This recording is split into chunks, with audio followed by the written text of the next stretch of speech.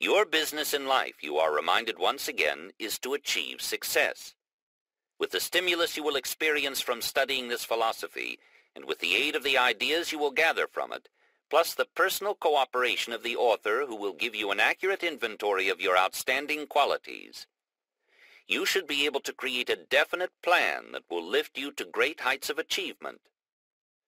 However, there is no plan that can produce this desirable result without the aid of some influence that will cause you to arouse yourself, in a spirit of enthusiasm, to where you will exert greater than the ordinary effort which you put into your daily occupation.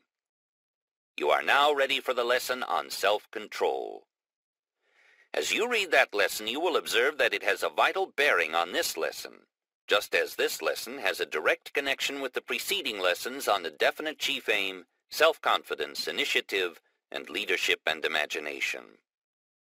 The next lesson describes the law which serves as the balance wheel of this entire philosophy.